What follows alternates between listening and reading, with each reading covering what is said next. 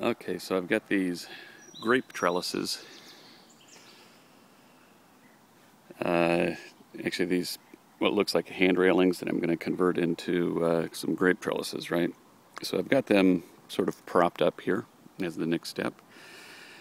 Um, I'm going to weld the uh, the railings together.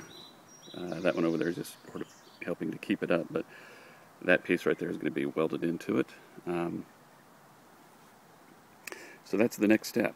Uh, once I get the pieces welded together, I am then going to come along and anchor in these things, or I might just do that right now. It might help me to, uh, might help me actually just to do that now. That's what I'll do.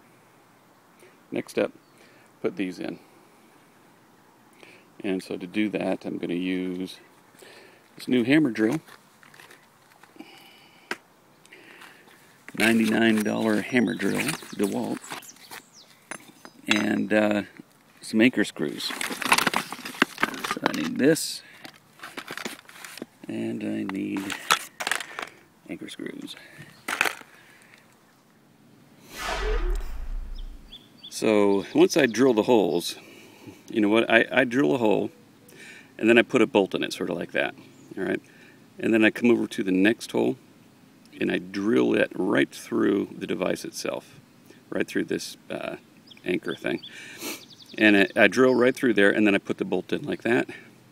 And I do that with each one, that way I know that my holes are going to line up.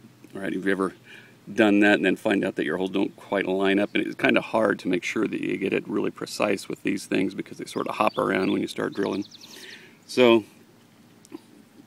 so there it is, and now all I have to do is tap them down in. And I always I like to put the bolts on first um, and then tap it down because sometimes if you don't have your depth gauge set quite right, you can tap it down and it goes oh, way down too far, right? And then you can't get it up far enough to put the bolt on. Uh, so I like to, I like, you know, you tap that thing, that screw down so far that you can't even get the bolt on it, right? So, um, this is the, this is the way I do it now. I just sort of tap them down, and uh, and then I tighten the bolts up so that uh, the bottoms of those things get snug. I've got that one done down there already. Got two of the holes drilled in that one. So I've made some progress.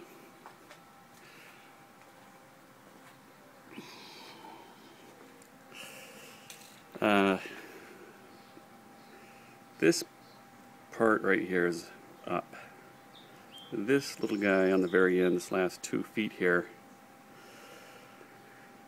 uh, I haven't attached it yet. I have to anchor the base, and I'm going to anchor, I think, all three of the remaining bases now. And then I'm going to come back, get that thing aligned, that last two feet, um, and weld it up. And then I'll come over here and erect this guy. Okay, more progress.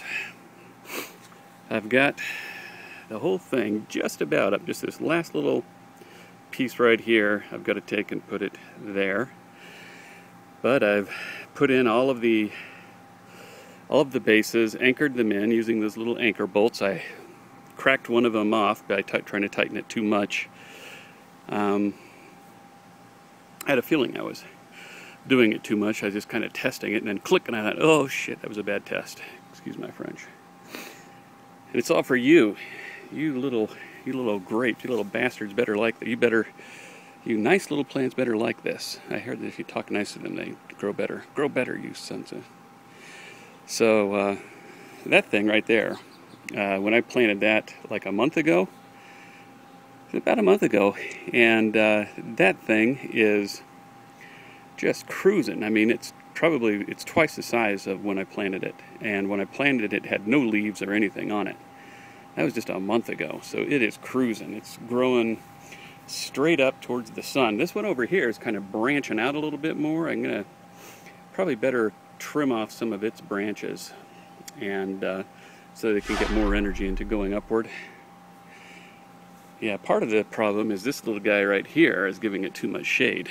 But uh, in a couple of hours, that plant right there, it's going to have plenty of sun. So